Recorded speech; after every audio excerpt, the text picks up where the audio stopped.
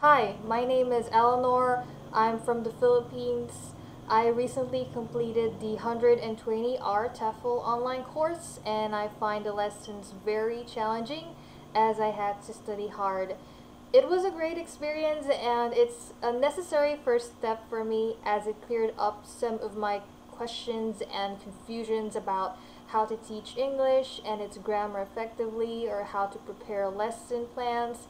They also provide teaching ideas and materials for different lessons that will be useful to spark up the students' interest in learning English.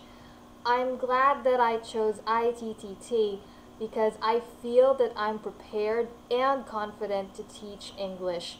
I would highly recommend anyone who's thinking of taking a TEFL course to choose ITTT because they make sure that you are really prepared to teach English as a foreign language.